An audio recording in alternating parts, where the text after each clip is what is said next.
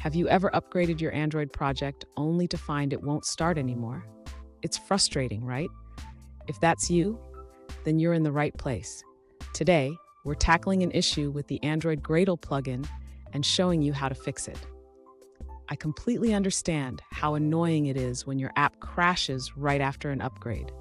You're not alone in this. Many developers face similar issues when transitioning between plugin versions.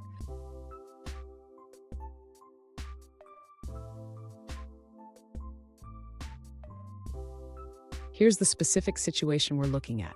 One user recently reported that after upgrading the Android Gradle plugin from version 3.0.0 Alpha 1 to 3.0.0 Alpha 2, their application fails to start. They shared a stack trace that indicates an error inflating a specific class. Sound familiar? Let's dig into this together. So, what could be causing this issue?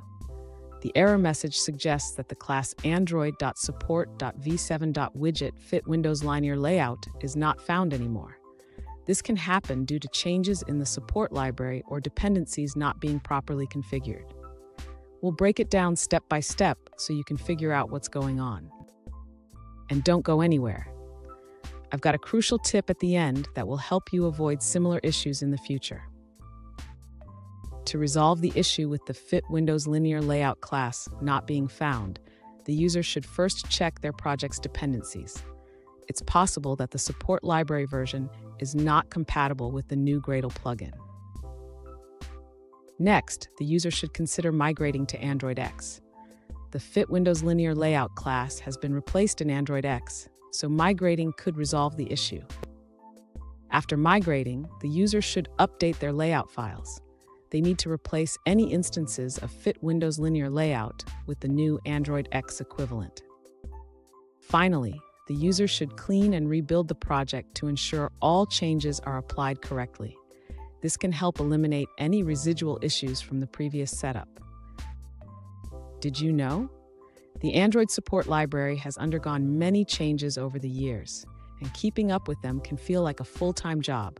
But don't worry, you're not alone in this. Now let's look at the answers provided by other users. An alternative solution has been shared by another user.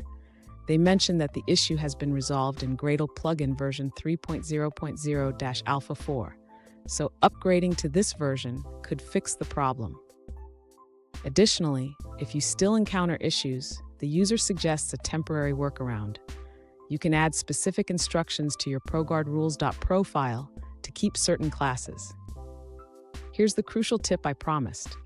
Always check the compatibility of your libraries with the Gradle plugin version you are using. This simple habit can save you a lot of headaches. And there you have it. Your application should be up and running again. Remember, keeping your dependencies in check is key. If you found this helpful, hit the subscribe button for more tips and don't miss our bonus tip on managing Android dependencies.